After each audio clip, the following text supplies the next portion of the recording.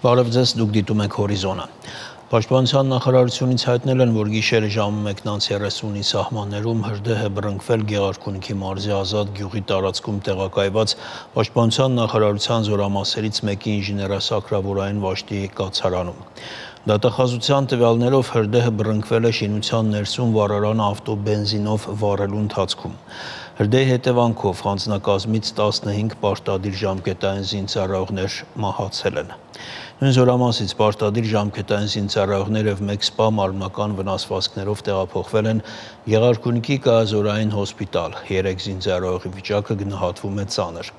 Դեպքի առիթով հարուցվել է քրեական գործ, ընթանում է նախաքննություն։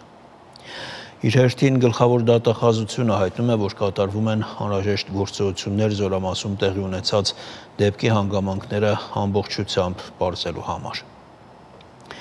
Ազատ գյուղում գիշերը տեղի ունեցած ողբերգական դեպքի հանգամանքները քննարկվել են կառավարության այսօրվա նիստում։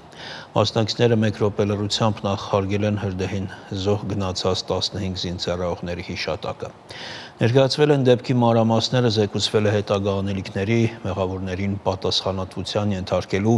պատասխանատուներին պաշտոնից ազատելու մասին։ Նիկոլ Փաշինյանը ողբերգական դեպքով պայմանավորված առաջարկել է կառավարության այսօրվա նիստի օրակարգում ներառված հարցերը քննարկել չզեկուցվող փաթեթի շրջանակներում։ Գիշերվանից աշխատում ենք դեպքի հետ կապված պաշտպանության նախարարի հետ մասնավորապես Պարոն Պապիկյան, ներկայացրեք նախնական տվյալը ինչ է տեղի ունեցել։ Պարոն վարչապետ, նախնական տվյալներով մասնավորապես ռազմական ոստիկանության հայտնած նախնական տվյալների համաձայն հրդեհային անվտանգության կանոնների խախտման արդյունքում տեղի է ունեցել բռնկում, որի ժամանակ օգտագործվել է նաև արգելված միջոց, խոսքը վերաբերում է ավտոբենզինին որը հնարավոր չի եղել հետագայում ուղակի մարել։ Պարզում ենք, որ ոչ միայն բենզին է օգտագործվել, այլև էլի այսօր պիտի ընդունենք, որ մեր ունեցած բոլոր տվյալները նախնական են։ 5 լիտրանոց տարայով փորձ է արվել բացել, լցնել վառարանի մեջ։ Բնականաբար, երբ որ արդեն բաց կրակ է եղել, արվել է ոչ միայն վառարանը, արվել է նաև բենզինը, արվել է նաև հրդեհը անցել է վառարանը վառել փորձող սպային, որից հետո ելի նախնական տվյալներով Սպես ինքնապաշտպանական բնազդից ելնելով այդ 5 լիտրանոց բենզինը շպրտվել է զորամասի կացարանի ուղությամբ։ Ենթադրում ենք ոչ ոչ բնականաբար կամ մեծ հավանականությամբ ոչ դիտավորյալ այդ իրավիճակում որից հետո parza որ թե ինչ է տեղի ունեցել եւ եւ իհարկե նախաքննությունը հույս ունեմ որ գլխավոր դատախազությունը քնչական կոմիտեն կաշխատեն եւ ի հայտ կբերեն բոլոր հանգամանքները ծառայությունը կարգապահությունը պետք է հետևի կոնկրետ պատասխանատվություն Այդ առումով ես որոշում եմ կայացրել հենց առավոտյան եւ երկրորդ բանակային կորպուսի հրամանատարին աշխատանքից ազատելու միջնորդություն եմ ներկայացրել հանրապետության նախագահին, հանրապետության նախագահը արդեն իսկ ստորագրել է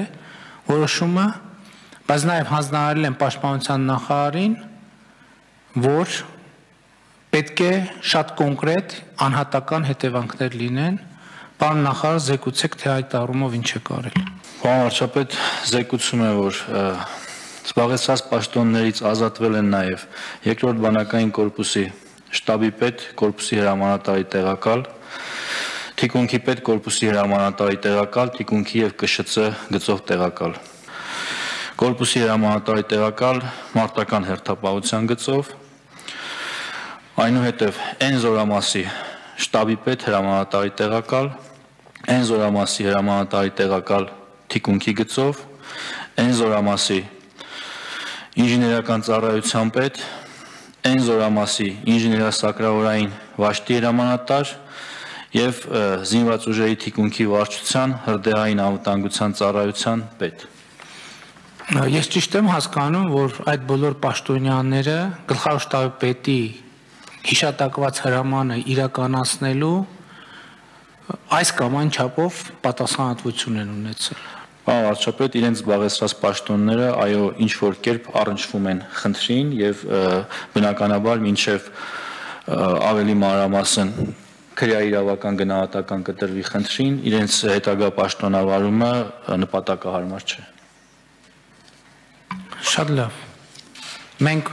ունենք 3 հոգի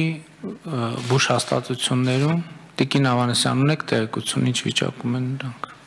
Պարոն վարչապետ, թույլ տվեք զեկուցել, որ 3 վիրավոր ունենք մեր այրվածքաբանության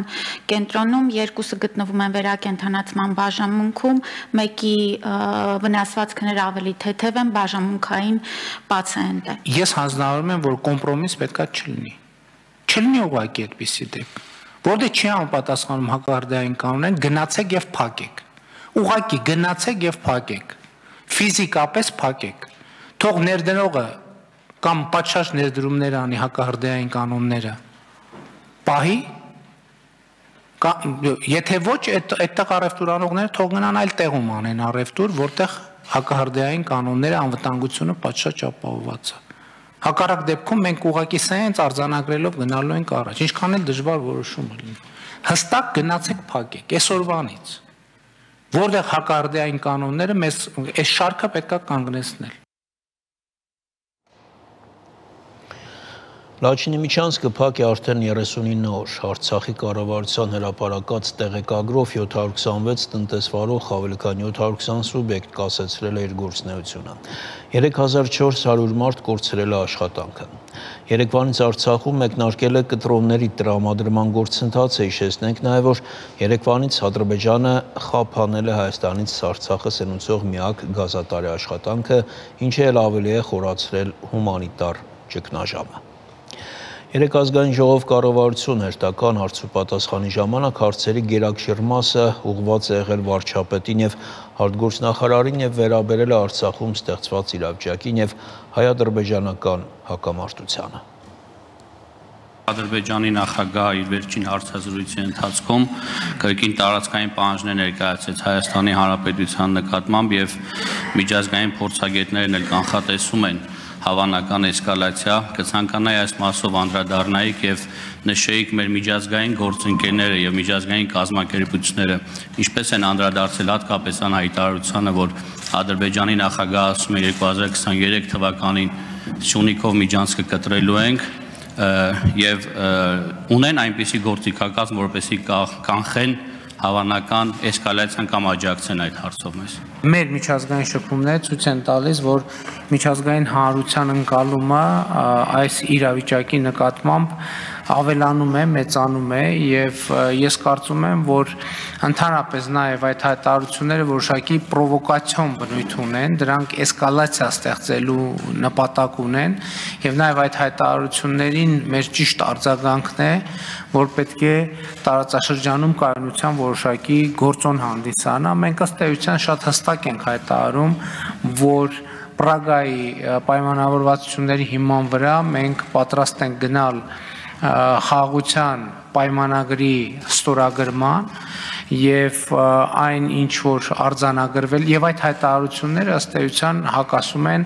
առաջին հերթին ձեռք բերված պայմանավորվածություններին։ Ընդհանրապես, երբ ես ասում եմ, որ միջազգային հանրության անկալումը կարծես թե մեծանում է, ինչու, որովհետեւ մարդկանց համար ակնհայտ է դառնում, որ եւ Լաչինի միջանցքի մասով եւ այդ հայտարարությունները ուղիղ խախտում են Ադրբեջանի իսկ կողմից ստանձնած միջազգային պարտավորությունների։ Միջազգային հանրությունն էլ դա արձանագրում է, որ Լաչինի միջանցքի շրջափակումը եւ Ադրբեջանի ագրեսիվ հայտարարությունները խոչընդոտում են նոր խոչընդոտներ են ստեղծում խաղաղության գործընթացի համար բայց հարց իսկ ով է ասել որ հենց դա չի ադրբեջանի ուզած իսկ ով է ասել որ հենց դա չի հերահար նպատակը որ նաև այդ կարգի սադրիչ հայտարարություններով ընդհանրապես եւ մեր հնարավոր ռեակցիաներն էլ օգտագործելով ամբողջությամբ վիճեցնել խաղաղության գործընթացը։ Դրա համար մենք մեր վերաբերմունքի բանաձևը մեթոդը պետքա չփոխենք եւ ես կարծում եմ որ ավելի եմ համոզվում այդ մեթոդի ճշմարտության մեջ մեր արձագանքը այդ ամենին պետք է լինի ասիմետրիկ որն է ասիմետրիկ արձագանքը նախ ակտիվ միջազգային դիվանագիտությունը եւ երկրի ներսում ինստիտուցիոնալ կարողությունների պետական ինստիտուտների ավելի հզորացումը կայացումը բարեփոխումների օրակարգից չշեղվելը խաղաղության օրակարգից չշեղվելը եւ չհրաժարվելը դա պետք է լինի մեր արձագանքը Դեկտեմբերի սկզբին հայկական կողմը Ադրբեջանն էր փոխանցել հարաբերությունների կարգավորման կամ խաղաղության պայմանագրի իր առաջարկները, մինչ այս պահը ինչ արձագանք ունենք այս ուղությամբ։ Եթե կհիշեք, չմասնակցեցինք Լաչինի Միջանցքի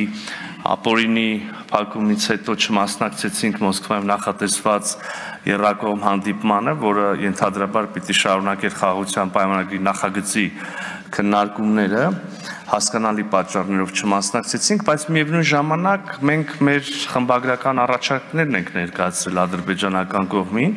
եւ այժմ սպասում ենք նրանց արձագանքին։ Տեղեկացնեմ, որ որպես կանոն այդպես է ընթացել մինչ այժմ գործընթացը, նախագծի շուրջ լինում են ադրբեջանական, այնուհետև հայկական, այնուհետև ադրբեջանական, հա, աշխատանքային process-ն են փորձում ներկայացնել առաջարկներով ենթադրաբար մինչև այն պահը, երբ որ ամբողջությամբ համաձայնեցված տեքստ հնարավոր կլինի ունենալ, եւ ահա մենք մեր հերթական առաջարկները եւ դրանց կից հիմնավորումները ուղարկել ենք ադրբեջանական կողմին եւ արդեն կարելի ասել 1 ամիս է, որ որևէ արձագանք չունենք եւ այստեղ ըստ այդմ ես ուզում ընդգծել, որ թյուր են այն պատկերացումները, թե հայկական կողմը դադարեցրել է կամ արգելակում է կամ ոչ կառուցողական է խաղաղության այս գործընթացում եւ մասնավորապես խաղաղության պայմանագրի տեքստի շուրջ աշխատանքների գործընթացում կրկնում եմ մենք մեր առաջարկներ ուղարկել ենք եւ ահա ադրբեջանական կողմի պատասխանը պիտի լինի, որը մինչ այս պահը չկա։ Եվրոմության կողմից Հայաստանը ուղարկվելու նոր երկարաժամկետ առաքելություն, խնդրեմ նաև մանրամասնել հայտնել այս ուղղությամբ։ Կարծում եմ ավելորդ է նույնիսկ նշել, որ մենք նոր լիարժեք դիտորդական առաքելության սահմանման պարագայում միայն աջակցող եւ կառուցողական դերակատարում կունենանք։ Անշուշտ մենք դրական ենք վերաբերվում այդ քննարկմանը, դրական կվերաբերվենք, եթե այդպիսի որոշում ընդունվի Եվրոպական միության կողմից եւ տեղում լայն համագործակցություն կհաստատենք նրանց հետ։ Վերջերս հայտնի դարձավ, որ Թուրքիան վերացրել է Հայաստանի եւ Թուրքիայի միջև ուղիղ օթային բեռնափոխադրումների արգելքը կարող եք նշել թե ինչ փուլում է գտնվում հատուկ ներկայացուցիչների հանդիպման արդյունքում ձեռք բերված մյուս պայմանավորվածությունը մասնավորապես երրորդ երկրների քաղաքացիների համար ցամաքային սահմանը հատելու հնարավորության ապահովումը։ Կան բազմաթիվ այլ հարցեր, որոնց շուրջ խոսակցությունը առայժմ ընթանում է եւ մենք լիահույս ենք, որ առաջիկայում նաեւ մյուս պայմանավորվածությունները կամ մյուս թեմաները, որոնց շուրջ խոսակցությունը ընթանում, իրականություն կդառնան։ Իրականում բավական երկար ժամանակ է արդեն մեր երկու ներկայացուցիչների միջև հանդիպում տեղի չի ունեցել, փոխարենը արդեն էքսպերտային մակարդակում ավելի գործնական քննարկումներ են եղել, հանդիպումներ են եղել եւ կրկնում եմ, քայլը դրական է, սպասում ենք մյուս թեմաների մարմնականացման, այսպես ձևակերպեմ։ Արցախում հումանիտար ճգնաժամը մոտենում է վտանգավոր նոր բեկումնային կետի, այս մասին գրել է Միացյալ Նահանգների կոնգրեսական Ադամ Շիֆը։ Առանց միջազգային հանրության անմիջական գործողությունների Ալիևը ել ավելի կհամարցակվի իր մահաբեր արշավում։ Միացյալ Նահանգները պետք է կտրուկ ուժեղացնի ճնշումը օգնություն ցուցաբերելով Արցախին եւ ագրեսորի նկատմամբ պատժամիջոցներ կիրառելով, գրել է Շիֆը։ Միացյալ Նահանգների կոնգրեսի հայկական հանձնախմբի ղեկավարները Բայդենի վարչակազմին կոչ են արել հարավելագույն ճնշում գործադրել Ադրբեջանի նախագահ Ալիևի վրա վերացնելու Արցախի շրջափակումը մինչ ներկայիս հումանիտար ճգնաժամը դառնա աղետալի հաղորդում է Միացյալ Նահանգների հայդատի հանձնախումբը։ Նաև վարչակազմից պահանջվել է դադարեցնել Ադրբեջանին տրամադրվող ռազմական օգնությունը Ադրբեջանի ղեկավարների նկատմամբ կիրառել պատժամիջոցներ եւ Արցախի ժողովրդին փրկելու համար անհապաղ տրամադրել մարտասիրական օգնություն։ Դիտեք եւս մեկ տեսանյութ կհանդիպենք ժամը 15-ին։ Դեպի Սյունիք տանող միջպետական ավտոճանապարհի աջ կողմում Արարատի եւ Վայոց-Ձորի մարզերը միացնող լեռներով շրջապատված ձորակում է ծվարած սահմանամերձ Տիգրանաշենը։ Արտաքին լուսավորությունն այստեղ անվտանգության, ապա նաեւ համայնքի զարգացման ու ծախսերի խնայողության խնդիր է։ Իր ռելիեֆը այնպեսին է, որ ժայռերի եւ սարերի միջև ավելի շատ զորակ է։ Մթությունը ստե ավելի շատ խանգարող հանգամանք է։ Նախորդ տարեվերջին նորագույն տեխնոլոգիաները մարզեր հասցնելու եւ ենթակառուցվածքների արդի համակարգներ դնելու նպատակով Viva MTS-ը եւ վայրի բնության եւ մշակութային արժեքների պահպանման հիմնադրամը այստեղ աշխատանքներ են սկսել։ Տիգրանաշենում կառուցվել է փողոցային լուսավորության նոր համակարգ, տեղադրվել են 40 LED լուսարձակներ, լուսավորվել 1500 մետր ճանապարհահատված։ Խափանումները հաճախակի չենք ունենալու եւ ամենակարևորը ունենալու ենք ծախսի խնայողություն։ Շուրջ 11 տարի առաջ գյուղն իր միջոցներով փորձել է ապահովել կենտրոնական փողոցի լուսավորությունը, սակայն ստացած արդյունքը չի արդարացրել սպասումները։ MTS-ի ու վայրի բնության եւ մշակութային արժեքների պահպանման հիմնադրամի գործակցության արդյունքում Տիգրանաշենում նախորդ տարի կառուցվել է լուսավորության ամբողջությամբ նոր ցանց։ Գյուղում լուսավորվել է կենտրոնական եւ երկրորդական 4 փողոց։ Տիգրանաշենն ապահովել է 80% լուսավորությամբ։ Եթե ջուրն ու լույսը լինի, մարդը գոհատևի իր հողը կմշակի, չի փախնի իր հողից։ Տիգրանաշենում ապրող նոր սերունդը համացանցի միջոցով փորձում է հետևել աշխարհում կատարվող տեխնոլոգիական առաջխաղացմանն ու զուգահեռներ տանել քաղաք գյուղ զարգացման տեմպերի միջև